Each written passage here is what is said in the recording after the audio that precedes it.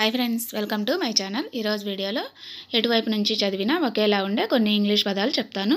అవేంటంటే మేడం మలయాళం అమ్మ మీరు కూడా ఇలా ఎటువైపు నుంచి చదివినా ఒకేలా ఉండే కొన్ని ఇంగ్లీష్ పదాలు ట్రై చేసి ఆన్సర్స్ కామెంట్ బాక్స్లో రాయండి.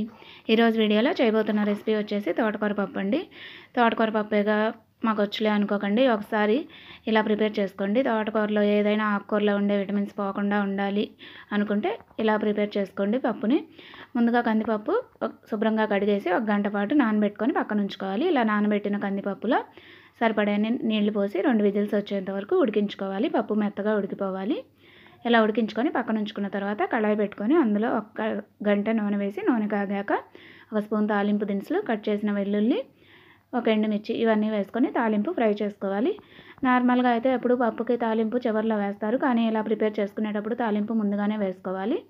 తర్వాత ఇందులో కట్ చేసిన ఉల్లిపాయ పచ్చిమిర్చి ముక్కలు కూడా వేసుకోవాలి. ఇవి వేసుకొని సగం మగ్గించుకోవాలి. పూర్తిగా మగ్గాల్సిన అవసరం లేదు. ఇప్పుడు ఇందులో కొంచెం కరివేపాకు కూడా వేసుకొని ఒకసారి కలిపేసేయాలి. తర్వాత కట్ చేసిన టమాటా ముక్కలు వేసుకోవాలి. కొంతమంది టమాటాలు వేసుకుంటే వేసుకుంటారు. లేకపోతే చింతపండు వేసుకుంటారు. కొంతమంది రెండు కూడా వేసుకొని చేసుకుంటారు. ఇలా టమాటాలు కూడా వేసి మూత పెట్టేసి మగ్గించుకోవాలి. టమాటాలు సగం మగ్గేంత వరకు. ఇలా మగ్గిపోయిన తర్వాత ఒకసారి కలిపేసి ఇప్పుడు ఇందులో శుభ్రంగా కడిగి కట్ చేసి ఉంచుకున్న తోటకూర వేసుకోవాలి.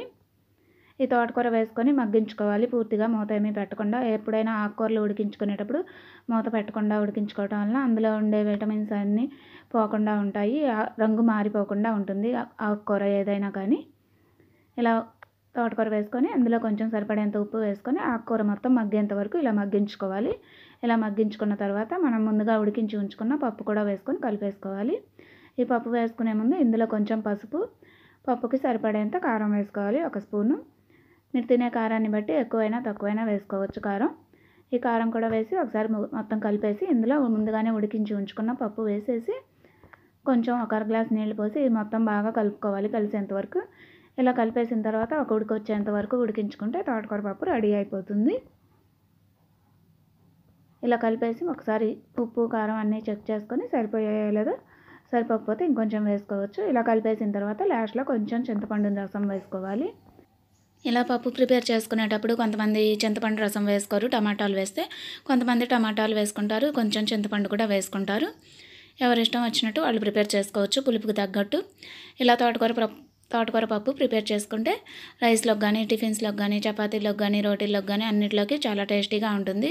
అంతేకాకుండా మనం మూత పెట్టుకోకుండా ఉడికించుకుంటున్నాం కదా తోటకూరని అందులో విటమిన్స్ ఏమీ పోకుండా ఉంటాయి.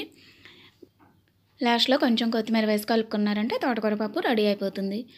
ఇలా రెడీ చేసుకున్న తోటకూర పప్పు మీరు కూడా ఒకసారి ఇలా ప్రిపేర్ చేసుకొని మీకు ఎలా కుదిరిందో కామెంట్ చేయండి. మీకు ఈ వీడియో నచ్చితే లైక్ చేయండి షేర్ చేయండి. నా ఛానల్ని సబ్స్క్రైబ్ చేసుకొని బెల్ కూడా యాక్టివేట్ చేసుకోండి. Thank you for watching. Bye bye